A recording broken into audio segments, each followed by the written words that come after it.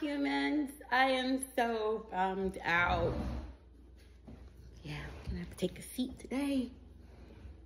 Hi, humans. How are we doing? I'm not doing so great.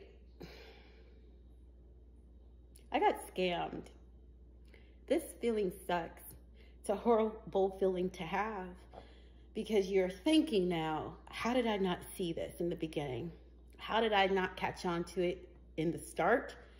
How did I not stop this? How did I not prevent this? Why did I allow this to happen?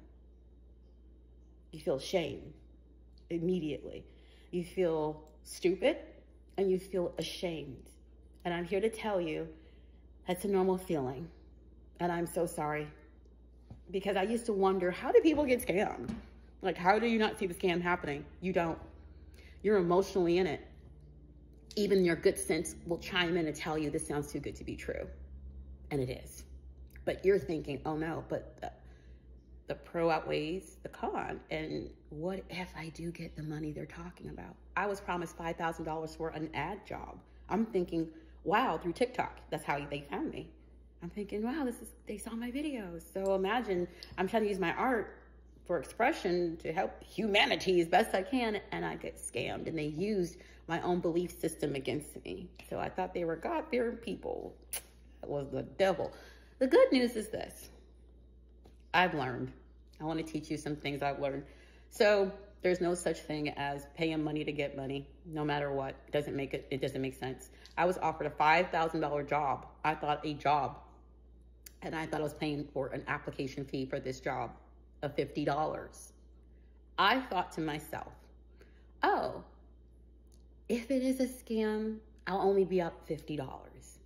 That was my fail safe in my head.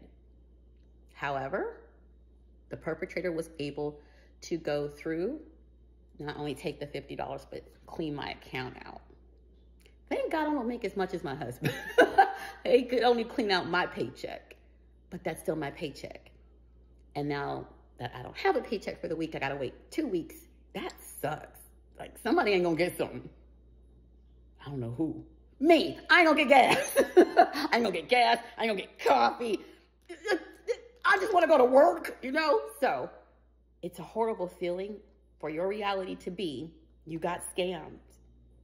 You're not stupid.